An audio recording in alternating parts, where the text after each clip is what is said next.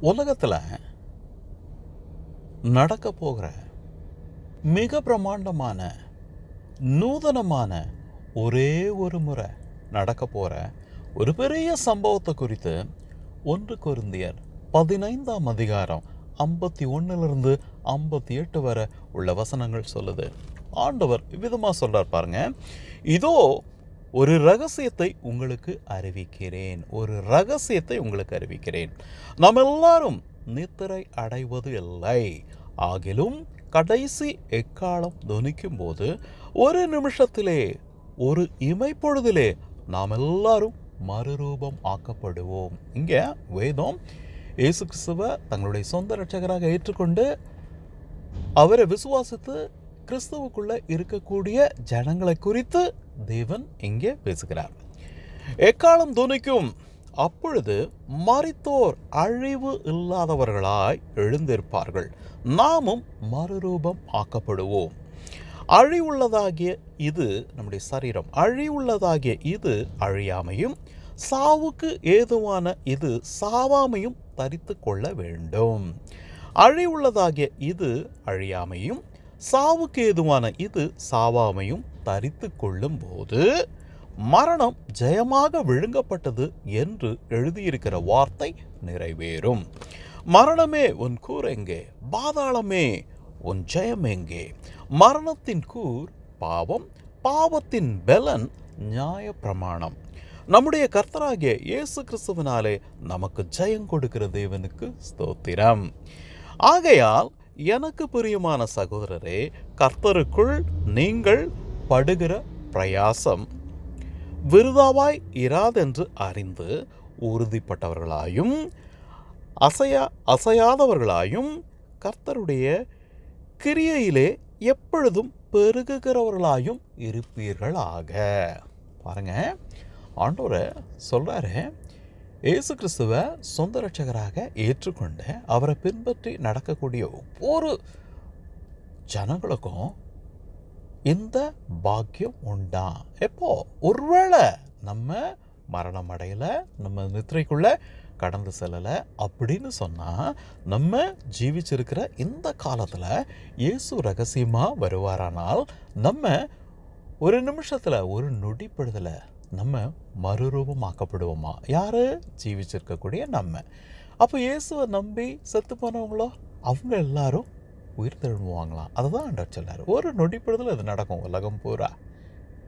இது ஒரு நூதனமான மிக பிரமாண்டமான ஒரே ஒரு முறை நடக்கக்கூடிய நடக்க போகிற ஒரு சம்பவம். அது எப்போ வேணாலும் இருக்கலாம். ஒருவேளை நம்ம இயேசு கிறிஸ்துவை பின்பற்றி நடக்கக்கூடிய ஜனங்க ஜீவிச்சிருக்கிற இந்த காலகட்டத்தில் நம்மளுடைய காலத்தில் ஒருவேளை இது நடக்கலாம். ஒருவேளை அது தாமதமாகுமானா நம்ம ஒருவேளை மறித்து நித்திரைக்குள்ளே ஆவோமானா நம்ம என்ன செய்வோமா? இந்த சம்பவம் நடக்கும்போது உயிர் தெழுந்து கொள்வோமா? பாருங்கள் எப்படிப்பட்ட ஒரு அற்புதமான காரியத்தை ஆண்டவர் அவரை நேசிக்கக்கூடிய அவரை விசுவாசிக்கக்கூடிய அவருக்கு கீழ்ப்படியக்கூடிய ஜனங்களுக்கு செய்து வச்சிருக்கிறாருன்னு பாருங்கள் இது நடக்க போகுது. எப்போ நடக்கும்னு யாருக்கும் தெரியாது. எந்த நேரத்துலையும் இது நடக்கலாம். பாருங்கள் லூக்கா ஒன்பது இருபத்தி மூன்று சொல்லுது பார்த்துக்கோங்க. இயேசு சொன்னார் ஒருவன் என்னை பின்பற்றி வர விரும்பினால். பாருங்கள் ஆண்டவர் யாரையும் ஒரு காரியத்துக்கும் வற்புறுத்த மாட்டார் கட்டாயப்படுத்த மாட்டார். எந்த ஒன்றையும் எந்த ஒரு மனுஷன் மேலேயும் ஆண்டவர் திணிக்கவே மாட்டார். அவர் சொல்லுவார் எப்பா உனக்கு விருப்பம் இருந்தால் செய். அம்மா உனக்கு விருப்பம் இருந்தால் செய். அவ்வளோதான் லூக்கா ஒன்பது இருபத்தி மூன்று விதமாக சொல்லுது ஒருவன் என்னை பின்பற்றி வர விரும்பினால் அவன் தன்னைத்தான் வெறுத்து பார்த்துக்கோங்க இயேசுவை பின்பற்றணும்னா முதல் காரியம் என்ன தெரியுங்களா? நம்மளை நம்ம வெறுக்கணும். நம்முடைய உரிமைகள்லாம் விட்டு கொடுக்கணும். நான் எனக்கு அது இல்லை நான் இல்லை அப்படின்னு தான் நம்ம சொல்லணும். அவ்வளோ எஸ் சொல்கிறார் பார்த்துக்கோங்க. நம் ஒருவன் தன்னைத்தான் வெறுத்து தன் சிலுவை எடுத்துக்கொண்டு அனுதினமும் பார்த்துக்கோங்க உண்மையான கிறிஸ்தவ வாழ்க்கை வாழணும் ஒரு பரிசுத்தமான வாழ்க்கை வாழணும் வச்சுக்கோங்க. அநேக பிரச்சனைங்க. கண்ணீர் தடைங்க பிரச்சனைங்க. எல்லாம் இருக்கும் பார்த்துக்கோங்க. எல்லா நெருக்கங்களும் இருக்கும். அதை நம்ம ஏற்றுக்கொள்ளணும்.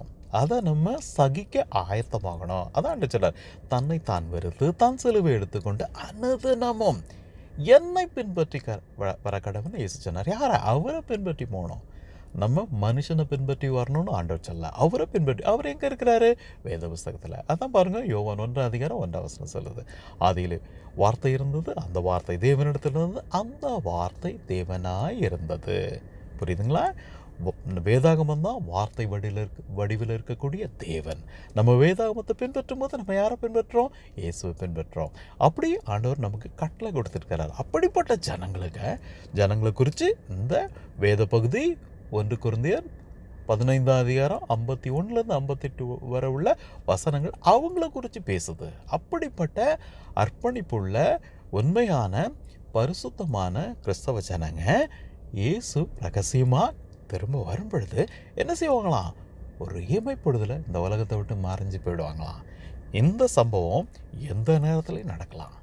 எந்த நேரத்துலையும் நடக்கலாம். பாருங்க இயேசு வருகைக்கு முன்னாடி அடையாளங்களாக சொன்ன எல்லா காரியங்களும் நிறைவேறிடுச்சு.